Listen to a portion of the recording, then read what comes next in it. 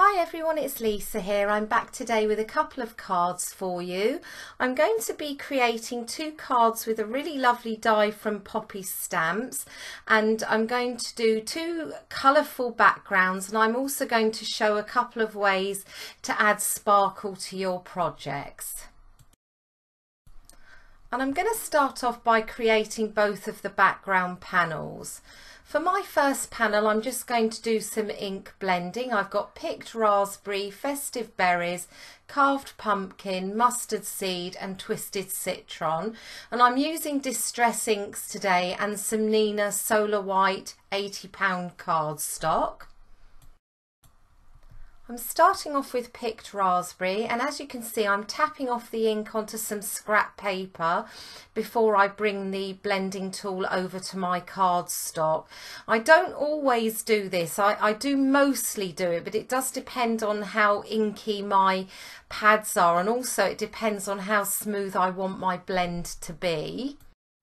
And I'm going backwards and forth here between the different colours, making sure that I overlap them as I go. And obviously I go back and I reblend some of the edges with the previous colour. That just helps to make the blending a little bit more smooth.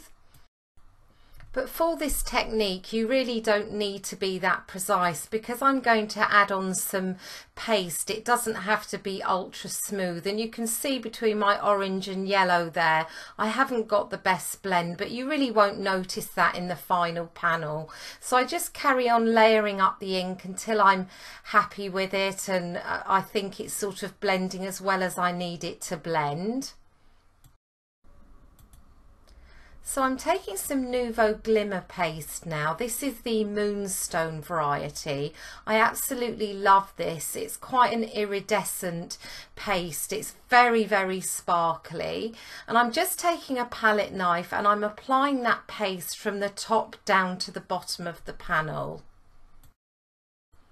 I did make sure that my panel was dry before I did this so I just put a heat gun on it for uh, 30 seconds or so. I mean it was Distress ink and it had sort of pretty much dried but with paste you can sometimes pick up the colour as you drag it down your panel and I didn't want that to happen so I dried it off first and you must clean off your work surface and your palette knife immediately because the paste hardens really really quickly.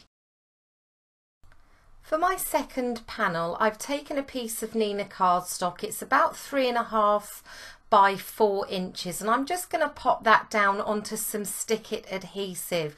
I'm going to be putting some strips of coloured cardstock on this panel and I thought this would be the easiest way of adhering those to it.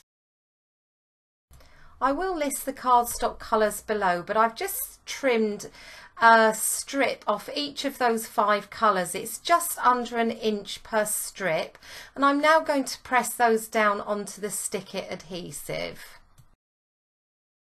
And I'm making sure that I butt them up really close to each other so I don't see any white cardstock peeking through and you can see I just have a slight small area of white cardstock at the end there which I'll trim off as well as trimming off the excess from each side so it's a really quick way of adding the cardstock to a card panel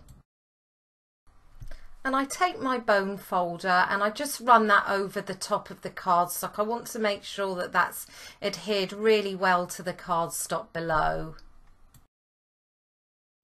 I'm going to move on to the die cutting of the Poppy Stamps frame now. I've got a couple of pieces of Neenah cardstock and also some white glitter cardstock from Simon Says Stamp.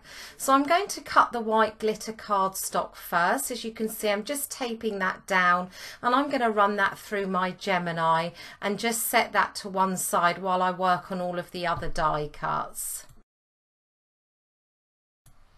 And I should just mention here, I did put stick it adhesive on the back of the glitter cardstock and also onto the Neenah Solar White before I started doing the die cutting.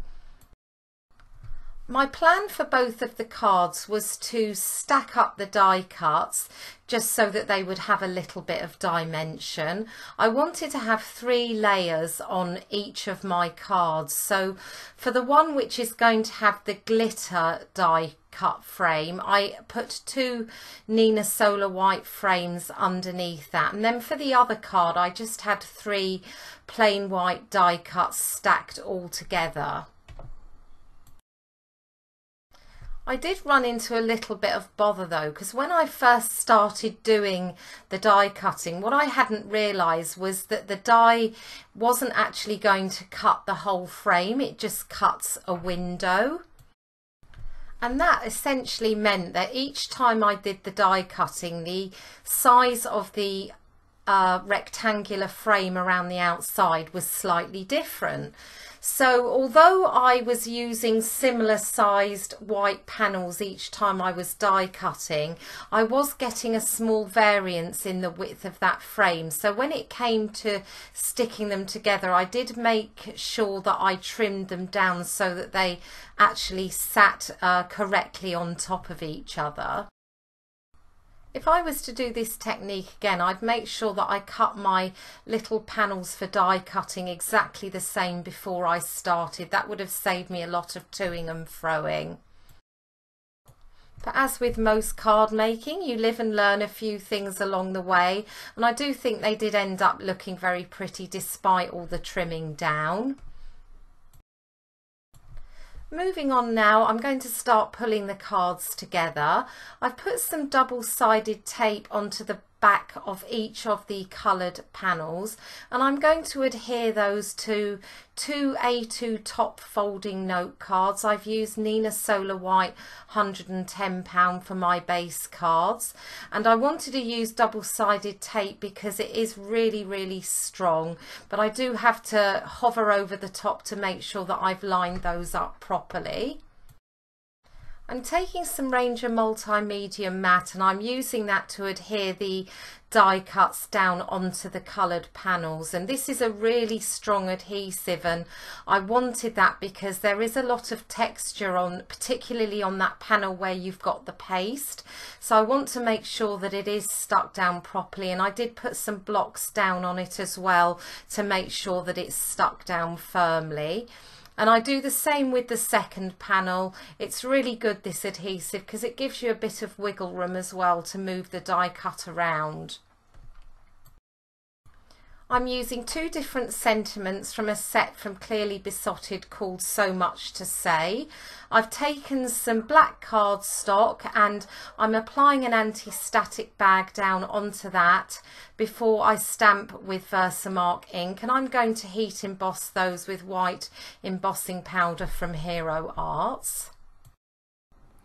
The anti-static bag helps to prevent stray bits of powder going onto other parts of the cardstock.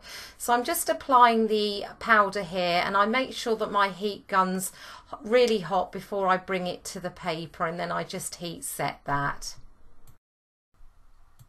To trim the sentiments out, I'm using my Simon Says stamp sentiment label dies.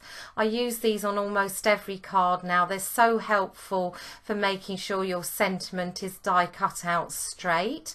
And I've popped some foam tape on the back of those and trimmed them down and I'm now going to add them onto both of the cards. I'm always in need of birthday cards and I don't actually think I have an anniversary card in my stash so I thought it would be good to make one of those today. The poppy stamps die that I was using for the cards today actually comes with a separate die for the floral head as well. So it cuts out um, the exact same shape of flower but it embosses some lines on it. So it's really nice to layer that up and it gives a little bit of added interest because you've got those embossed lines on it. You can't see them there but they are on there. And so I cut one from white glitter cardstock and also one from Neenah Solar White and just added those on top and to finish them off, I took some Nuvo drops. This is Dandelion Yellow. And I just put a little uh, dot of each in the centres of the flowers. I thought that that would finish them off nicely. So that finishes my two cards for today. I hope that you found that useful and you picked up some hints and tips along the way. I will link all the supplies down below and over on my blog in case you're interested in what I've used. But thank you so much for watching. I'd love it if you'd consider subscribing and giving the video a thumbs up if you enjoyed it. And I'll be back to see you soon.